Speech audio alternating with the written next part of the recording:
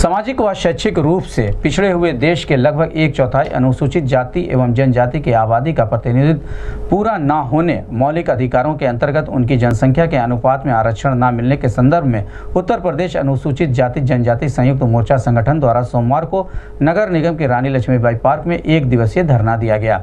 इस संबंध में अपनी दस सूत्रीय मांग को लेकर जिला अधिकारी के माध्यम से पदाधिकारियों ने राष्ट्रपति को ज्ञापन दिया। इस अवसर पर भारी संख्या में उत्तर प्रदेश अनुसूचित जाति जनजाति संगठनों के पदाधिकारी और कार्यकर्ता मौजूद रहे।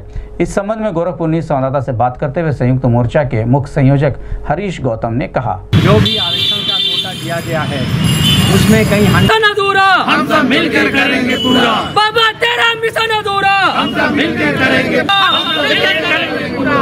तेरा मिशन अधूरा बाबा तेरा मिशन अधूरा बाबा तेरा मिशन अधूरा इस ज्ञापन में हमारा मुख्य मुद्दा है संशोधित एस सी एस टी आरक्षण सुनिश्चित करने के संबंध में ये ये हमने जो है राष्ट्रपति ना, के नाम प्रधानमंत्री के नाम गृह मंत्री के नाम और निर्माताओं ने इस वर्ग को राष्ट्र की मुख्य धारा में लाने के लिए मौलिक अधिकारों के अंतर्गत उनकी जनसंख्या के अनुपात में आरक्षण की व्यवस्था की थी। हरिशरण गौतम। ये